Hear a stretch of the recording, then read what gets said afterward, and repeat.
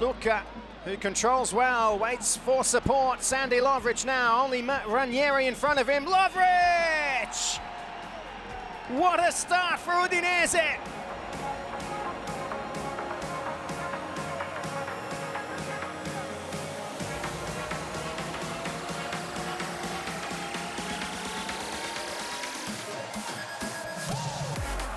Petagna's through, error by Skorupski, and levels the scoring.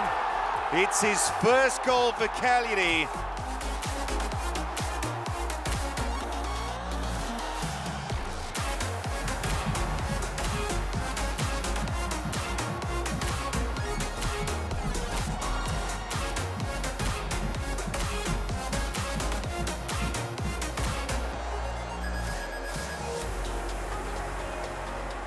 And Felipe Anderson, surely!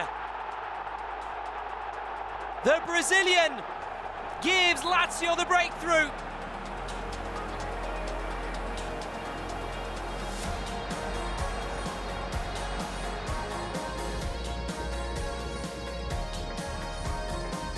Giroud, lovely touch. Theo Hernandez! Big goal for Milan.